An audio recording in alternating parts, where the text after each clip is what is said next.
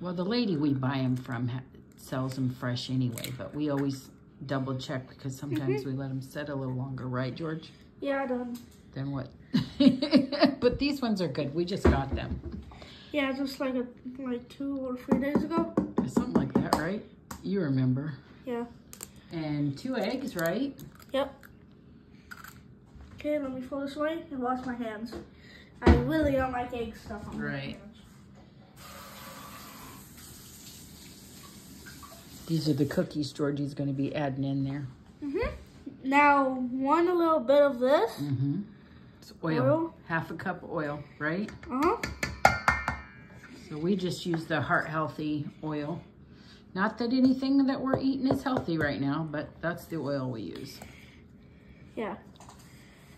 Okay, George, you might want to hold one of the, your hands with it so it doesn't uh,